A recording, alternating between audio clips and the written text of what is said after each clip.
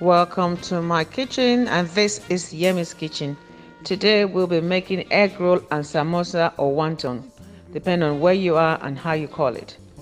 So the ingredients needed for this are carrots, which I have julienne here, minced meat, cabbage. I bought my egg roll wrapper in the store. You know, it's already done. Two teaspoons of cornstarch to make the slurry of the filling of the dough. So here I am, I'm mashing the minced meat together. So I'm going to put the kitchen, uh, Yemiz Kitchen Household Blend.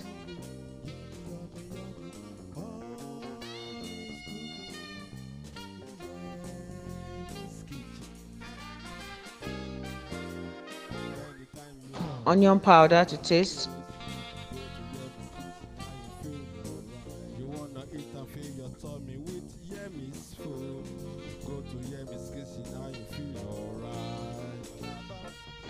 Chicken bouillon powder one teaspoon.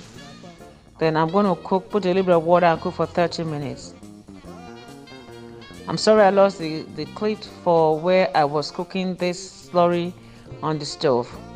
But here it is. The slurry is cold after one hour. Now let's wrap our egg roll and wonton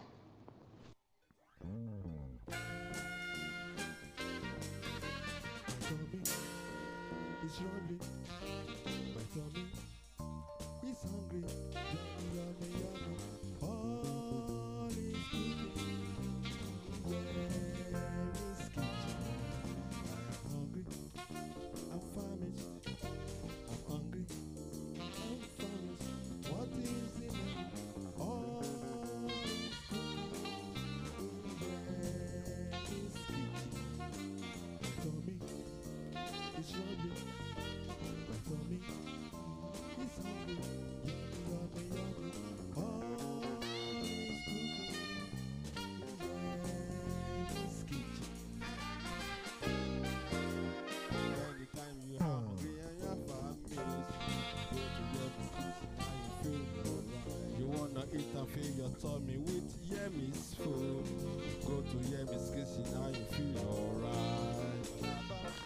Now let's go to the fryer to fry this. Let your fryer be at medium heat. Fry approximately for 3 minutes on each side. I must tell you that the egg roll and the samosa fry very fast. So you cannot do anything else while you're frying this. You have to concentrate.